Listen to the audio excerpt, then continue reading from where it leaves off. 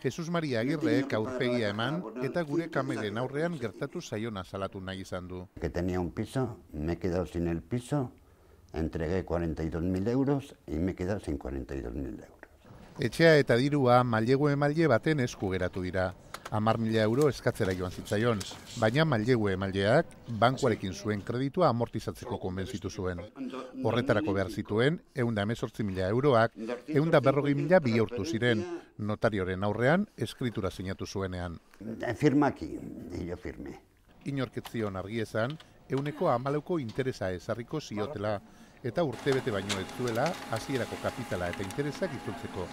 Guztira, egun da berro eta emeretzi mila euro. Yo no fui consciente de, de lo que me iba a subir, en dónde me metía. Orain, irurogeta bat urterekin, amaren etxean bizi da. Ez da kasu bakarra. Juan Carlosi, hogeta mar mila euro utzi zizkion mailegue maile batek, baina eskrituran, bitartekariak jaso zituzten beste amar mila euro ere agertzen dira. Ez zioten argi esan, bosteun euro ordaindu behar dituela hilero, irurogei hilabetez.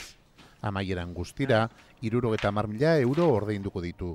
Hogeta amar mila baino ez jaso arren. Empecé a firmar papeles, yo, pues, yo confié en ellos, así, tontamente confié en ellos la jugaron. El prestamista lo Jenderen arazoekin negozio egiten dute mailegu emaileek.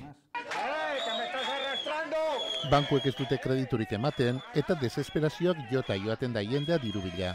Mailegu emaileek jartzen dituzten baldintzak ia bete ezinak dira. Interesa euneko bederatzireinokoa. Ordaindu ezean, euneko hogeta bederatzireinokoa. Dirua itzultzeko epemotzak, eta beti, beti, sordunaren etxe bizitzarekin gelditzeko aukera. La deuda está ahí y estará ahí y habrá que pagarla. Zorra ordaindu egin behar da, baina epaitegira jo dezakegu gehiegizkoak diren baldintzak bertan bera uzten saiatu, zorra gutxitu ahal izateko. que consideramos abusivas Epaitegian diru emailea profesionala dela frogatzea ere ezinbestekoa da. Horrela sordunak konsumitzaileen legearen babesa izango baitu.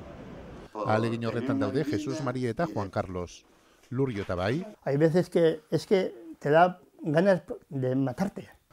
O me hubiese quitado la vida. baina aurrera aterako diren itxaropenaz.